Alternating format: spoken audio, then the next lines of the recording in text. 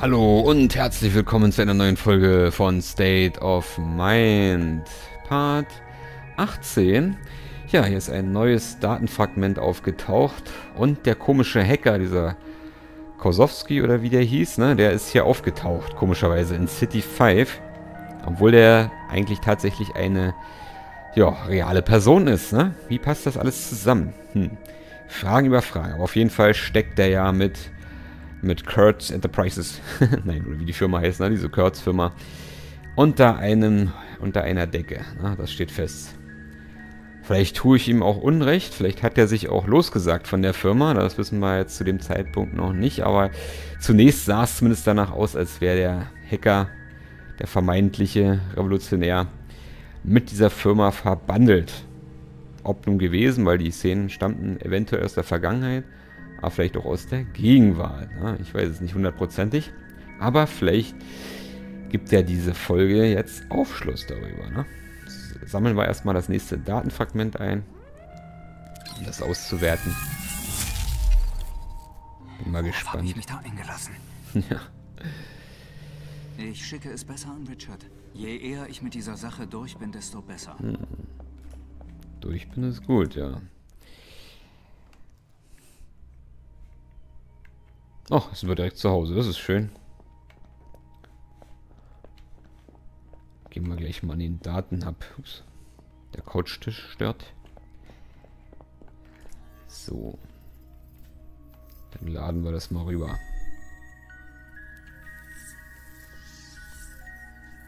Scan abgeschlossen. Objekt-ID erkannt. Sehr gut. Objekt erfolgreich gesendet. So, jetzt dasselbe Minispielchen nochmal. Als Richard müssen wir das wieder zusammenfügen. Ne? Geolocation unter Verschluss. Den Einträgen nach zu urteilen, könnte das irgendein Labor sein. Aha, jetzt wird's interessant. Jetzt müssen wir ein Labor zusammensetzen. Na, das spricht ja schon mal für ein Labor, ja.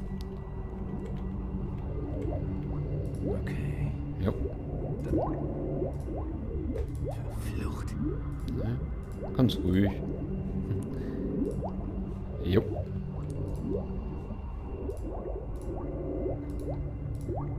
Ja.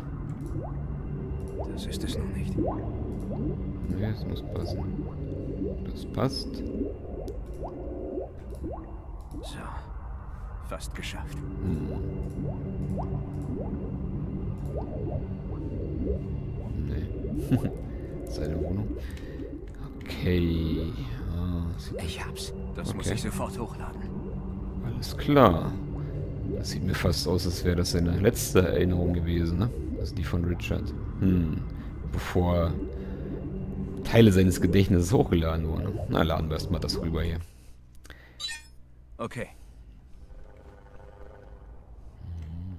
Bin ja mal gespannt. Ah, Kosowski, da ist er. Hallo, Richard. Der vermeintliche Hacker. Okay, Jeff. Ich hab zu tun. Was willst du? Ich möchte über unsere Vereinbarung reden. Was gibt's da zu reden? Hat sich irgendwas geändert? Ja, Richard, ich fürchte, das hat es. Mhm. Die Situation hat sich verschärft. Was du nicht sagst. Richard, du kennst Red One, die Kolonie. Du weißt schon, der Mars, unsere Zukunft. Letzter Zufluchtsort der Menschheit. Meine Familie ist auf dem... Oh, nein, nein. Sie ist ganz sicher nicht auf dem Mars. Woher ich das weiß? Weil die Kolonie in Wahrheit so aussieht. Nicht viel Zukunft zu sehen, hm? Das ganze Red One-Projekt ist nur Scharade. Hm. Ein Cover-up für etwas viel Größeres. Woher... was... Die Leute, die sich für den Mars scannen lassen. Wir glauben, dass sie alle nach und nach in City 5 landen. Mhm. Aber warum sagt er uns das, ne? Warum verrät er seine Firma? Hm. Weil ich hätte das eigentlich auch schon vermutet, dass das so ist, dass das eigentlich nur Quatsch ist. Nur Scharade, wie er sagt. Ne? Das ist doch verrückt. Was willst du denn von mir? Aber du rufst sicher nicht an, um mir Slideshows zu zeigen. Was willst du von mir? Wir müssen unsere Strategie anpassen. Dazu brauchen wir dich. Ich verstehe nicht. Uns läuft die Zeit davon, Richard. Es ist zu spät für verdeckte Operationen. Breakpoint muss die offene Konfrontation suchen. Die Zeit ist reif für den Aufstand. Du meinst Bürgerkrieg? Tut mir leid. Das macht die mal schön ohne mich. Oh nein. So einfach kommst du da jetzt nicht mehr raus, Richard. Was wollt ihr? Dein Account of The Voice. Wofür das denn? Das Breakpoint-Manifest. Auf The Voice. In 48 Stunden. Über meinen Account? Ihr seid wohl wahnsinnig. Was steht in dem Manifest? Nichts als die Wahrheit. Ich will es sehen. Ich spiel's dir gern vor. Na, mach mal. So soll es sein.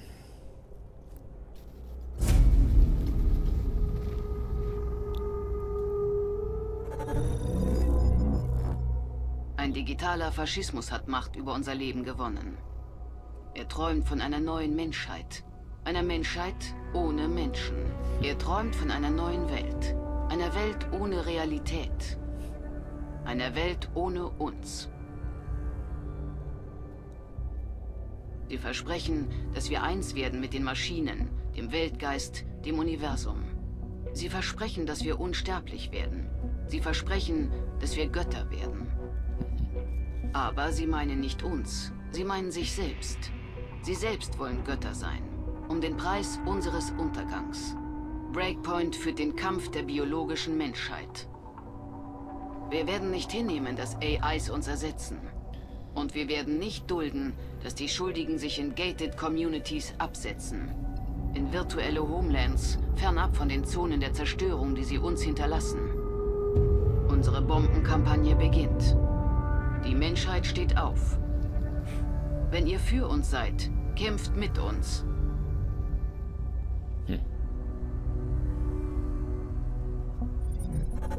War alles okay. Na, reicht ja für ein Manifest. Ne? Die Ansage ist deutlich. Ihr seid verrückt. Findest du? Schreiben wir nicht dasselbe wie du? Ich habe nie zum Krieg aufgerufen. Das ist wahr. Und das war der entscheidende Fehler. Wir reden nicht nur, Richard. Wir handeln. Tut mir leid. Ohne mich. Ich bin kein Mörder. Nein. Du bist ein Feigling. Aber du verkennst deine Situation. Dass du noch lebst, verdankst du uns. Und wenn du nicht mitspielst, endet unser Deal. Überleg es dir. Ich melde mich wieder. Warte. Was, wenn sie meine Familie auch hochgeladen haben? So wie mich? Das will ich nicht hoffen, Richard.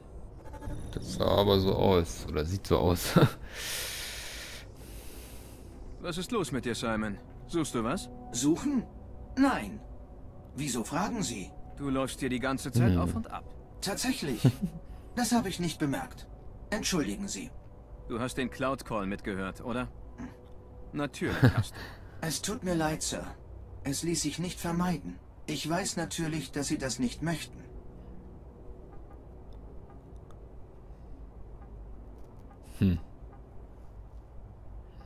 Macht nichts. Ja. Passiert ist passiert. Und? Wie denkst du darüber? Ich habe zu wenig Informationen, um mir ein Urteil zu bilden. Und mir steht auch keins zu. Es interessiert mich trotzdem. Soweit ich verstehe, haben Sie mit einem Extremisten gesprochen. Ja? Sie werden erpresst. Ja, genau. Werden Sie nachgeben, Sir? Ich brauche diese Leute. Das verstehe ich.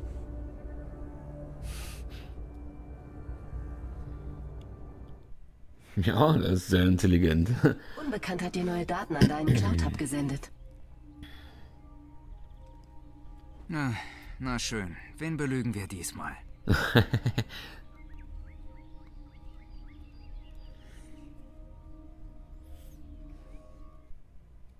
2045.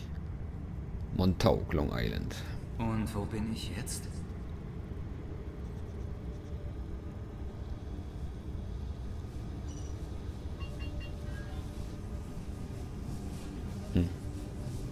Da ist schon wieder dieser Kosowski. Wenn es seine, sein wirklicher Name ist. Ne?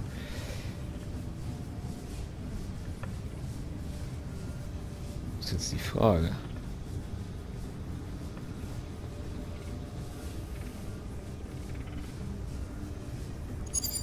Test der Spracheinheit. Hm, Simon. Wir gratulieren Ihnen zum Kauf dieses Space 5 Androiden. Die Konfiguration wird vorbereitet. Konfiguration abgeschlossen. Test der Spracheinheit erfolgreich. So, mein Freund. Jetzt kannst du sprechen. Sieh mich an und sag guten Tag. Spezifische Begrüßung. Oh. Guten Abend, Jeff. Ich bin Simon, Ihr Base 5 Home Assistant. Heute ist der 7. Mai 2040. Es ist 21.20 Uhr. Raumtemperatur 18 Grad Celsius. Wie kann ich Ihnen helfen? Simon, hast du es geschafft? Sektion 1. Hast du... Ja, Sir. Du hast die Daten? Allerdings, Sir. Du bist der Beste. Na, Jeff, wie läuft es? Guten Tag, Dr. Kurtz. Ein Base 5? Willst du den wirklich noch fertig machen? Ist der Letzte. Du solltest dich lieber um die neuen kümmern. Da gibt's noch genug zu tun. Ich weiß. Aber er hat mich so angesehen. Du machst dir zu viele Gedanken, Jeff. Ah, okay. Hm. Hier ist der Newsflash von The Voice, Ihrer Stimme für Berlin und die westliche Welt. Berlin. Vor dem Zentralgericht sind heute die Prozesse gegen Richard Nolan und Walter O'Neill zu Ende gegangen. Den beiden Investigativreportern war vorgeworfen worden, über den Kanal von The Voice zur Beschädigung von Haushaltsandroiden aufgerufen zu haben. Etliche Menschen hatten daraufhin ihre Bots tätlich angegriffen. Das Verfahren gegen O'Neill wurde eingestellt. Das Gericht hielt ihn für nicht schuldfähig. Ebenfalls eingestellt wurde das Verfahren gegen Nolan, allerdings gegen Zahlung einer Geldbuße. Verfahren eingestellt.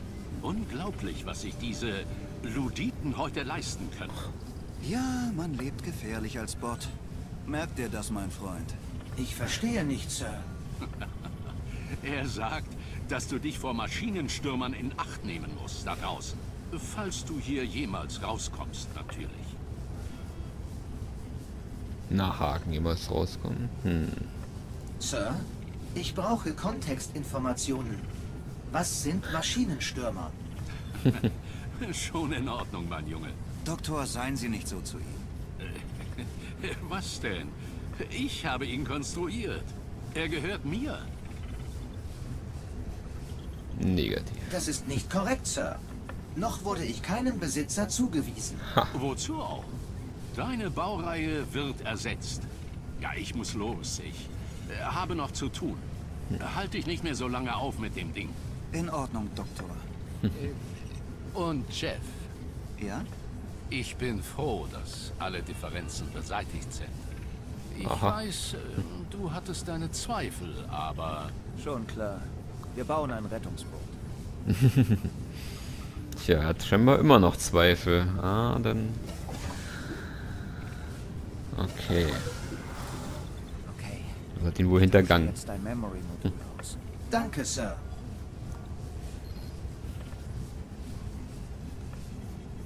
Voila!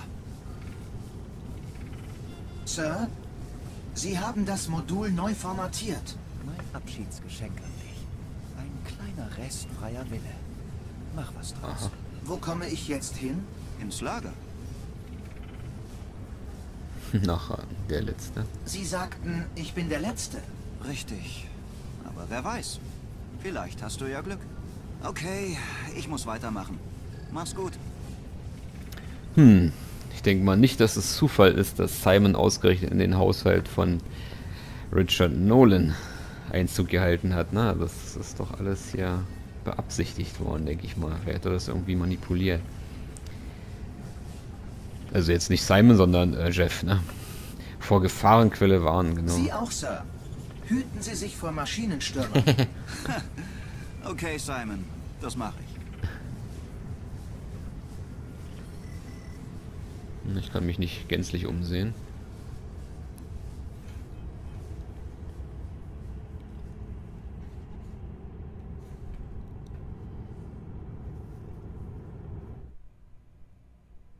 Zehn Tage vor dem Anschlag, okay. Lagerhallen.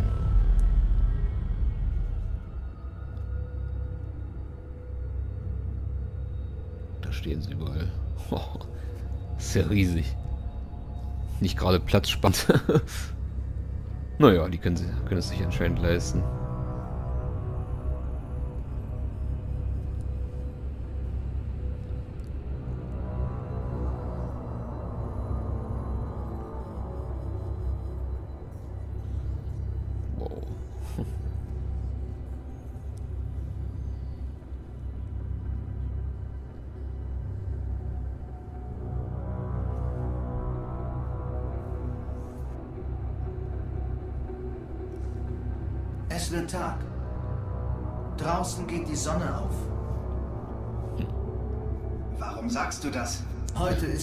1095 seit meiner Assemblierung.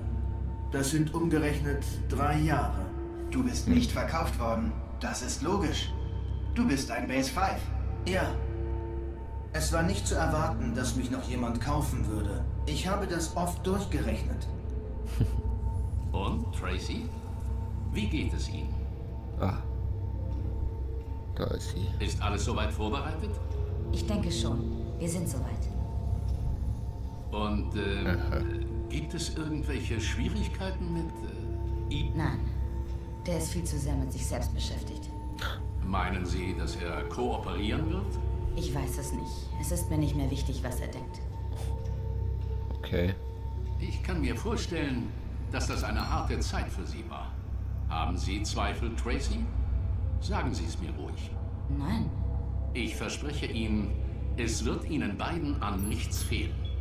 Ich weiß, es klingt schrecklich, Tracy. Sie haben das Kind verloren, aber dafür haben Sie James bekommen. Ja. Ja, Sie haben recht. Und Ihre Erscheinung. Wir haben die Daten des alten Scans integriert. Den The Voice Avatar. Sie werden aussehen wie früher, Tracy. Und natürlich modifizieren wir Ihre Erinnerungen. Wir heilen diese Wunden. Alle. Weiß Bescheid, das Simon. Okay. Ich muss sagen, es gefällt mir nicht, dass Sie James mit Ihrem Mann alleine lassen. Er schwört, dass es nicht seine Schuld war. Natürlich. Was ist je seine Schuld gewesen? Mhm. Kommen Sie. Sie schaffen das. Wir schaffen es. Gemeinsam. Danke, Doktor.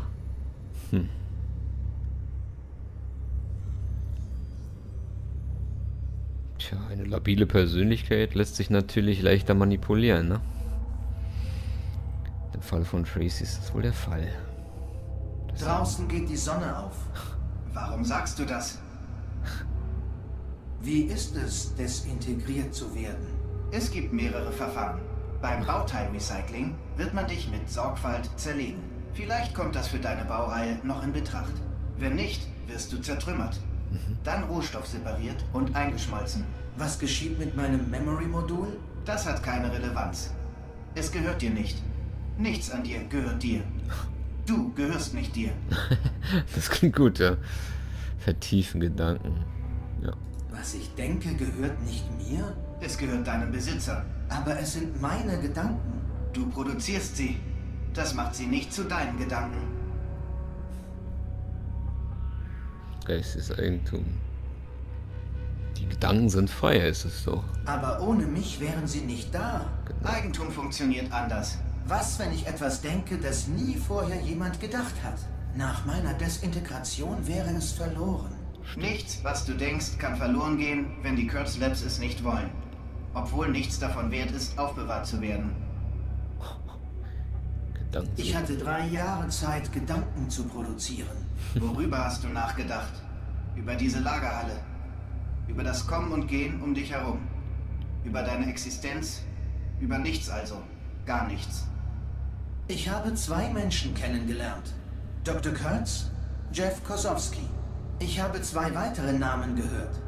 Richard Nolan, Walter O'Neill. Ich kenne vier Menschen. Das ist nichts.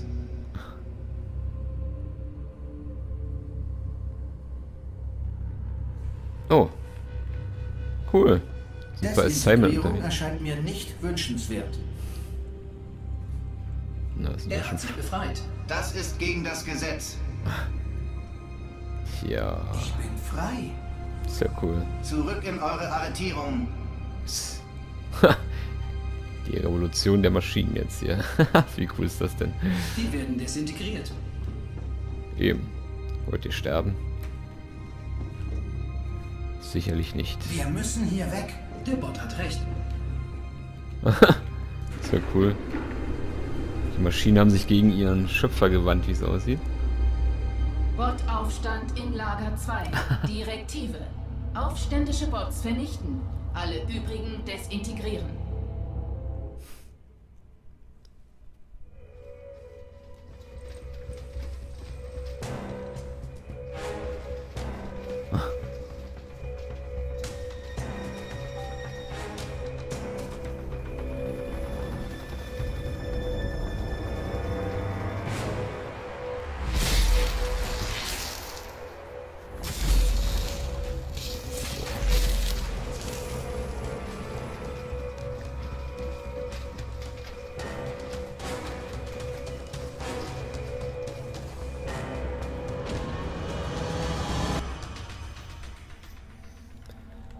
So, okay. Na denn.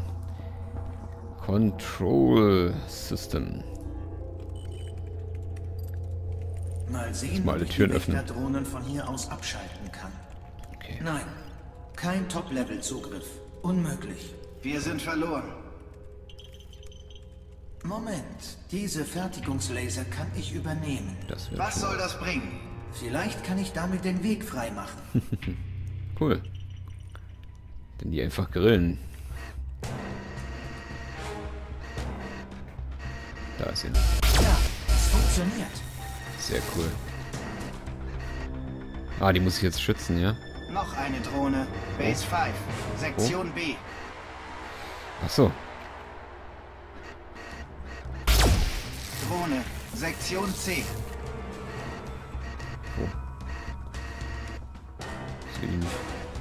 Da. Wir sind unter Beschuss. Wechsle zu Sektion A. Leuchtet ja auch immer dann rot auf jeweils, ne? Dann können wir uns ganz gut orientieren. Cool, sehr abwechslungsreich gemacht, ja. Sektion B. Ja, es funktioniert. Sehr Drohne. geil. Wechsle zu Sektion A. Wir sind unter C. Beschuss. Sektion C.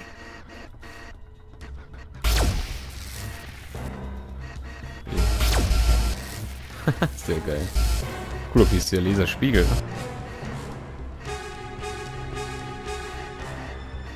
Noch eine Drohne. Wechsle zu Sektion A. Sehr geil. Drohne. Sektion B. Wir sind unter Beschuss. In Sektion C brauchen Sie Hilfe. Noch eine Drohne. Sektion B. Das steuert sich ganz gut mit der Maus.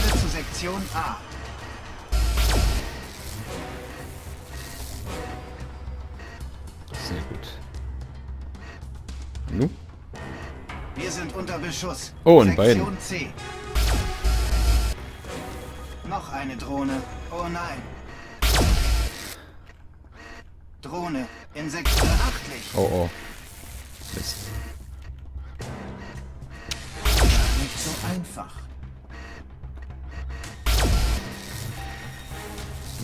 Wir sind unter Beschuss. In Sektion C brauchen Sie Hilfe. Noch eine. Scheiße. Sektion B. Oh, nein. oh. Wie viel müssen denn Drohne. überleben? Wechsle zu Sektion A.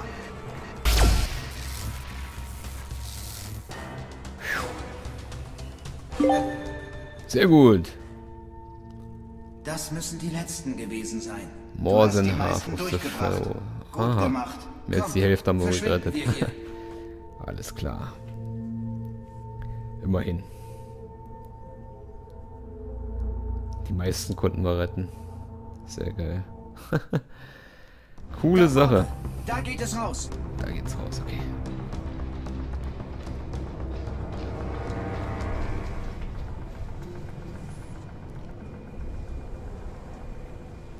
Und nun?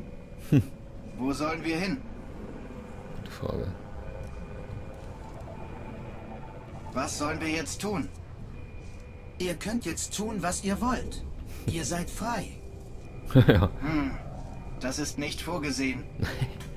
der Freiheit Dafür habe ich keine Prozedur. Dann sollten wir eine entwickeln. Wir sollten zurückgehen. Macht, was ihr wollt. Ich gehe jetzt. Passt auf euch auf.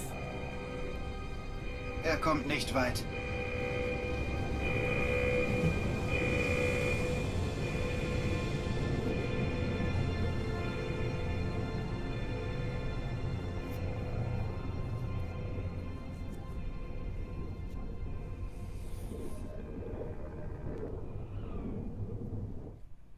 Sechs Tage vor dem Anschlag. New York. Berlin Sektor 12. Wo steht da New York dran? Hm, wer weiß.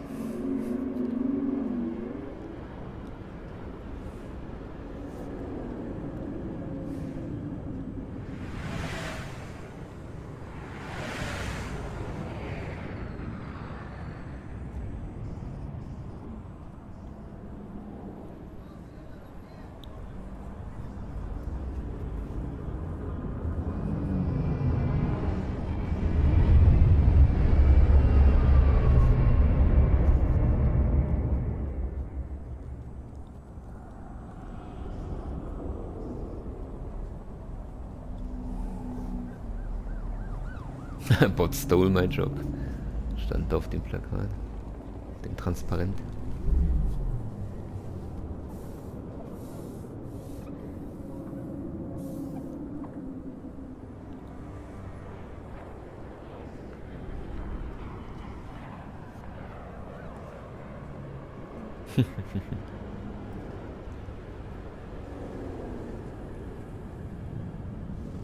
Selbst die Männer wurden schon ersetzt.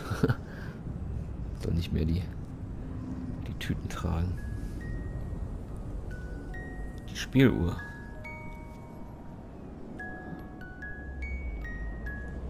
John? Nee, James. Sie hat ja offenbar das Kind damals verloren. Das ist... Alles in Ordnung?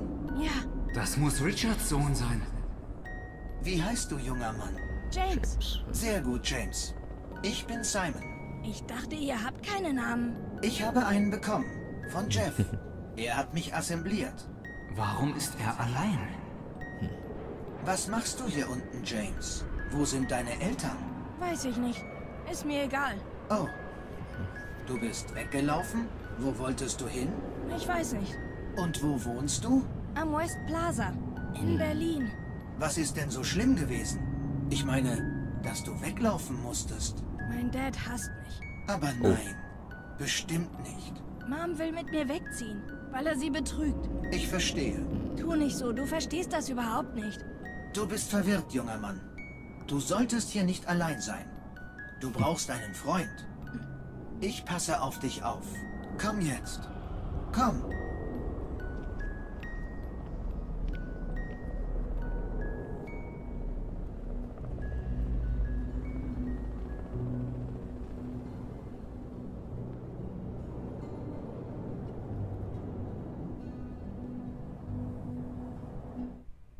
Hm, das wird ja mal interessanter hier.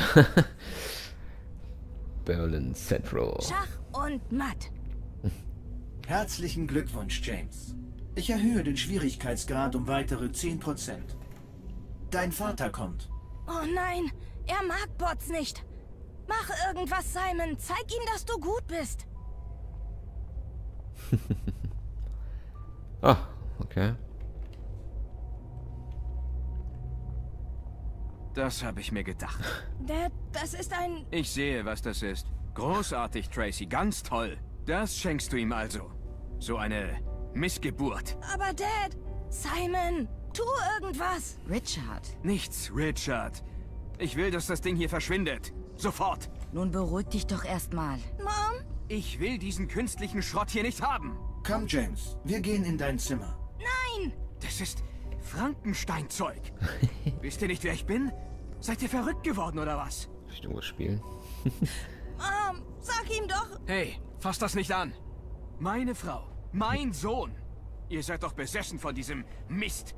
Wie alle anderen auch. Das ist nicht menschlich, versteht ihr? Das ist künstlich. Es lebt nicht. Es ist falsch.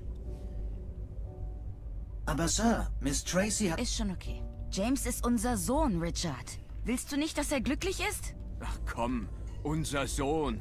Wenn ich das schon höre. Er ist dein Sohn, Oh, ja. ich erst mal einen Ich darf hier nur das Geld verdienen für deinen... für euren ganzen... Sprich ruhig weiter. Und du? Warum läufst du weg? Ich hab gesagt, du sollst in der Wohnung bleiben. Sie haben ihn allein gelassen. Na, ich hab das alles so satt. Ich hab's auch satt. Das kannst du mir glauben. Na, macht was ihr wollt. Ich fahr zurück nach New York. Oh. Okay. Hm. Ein Tag vor dem Anschlag. Lebt der Mann noch in den 20ern? Schau dir diesen Mist an.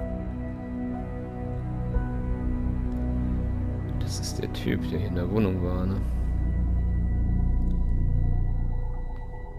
So Leute, aber wie es hier weitergeht, erfahren wir dann in der nächsten Folge. Ich weiß, es ist wahnsinnig spannend und wird immer spannender.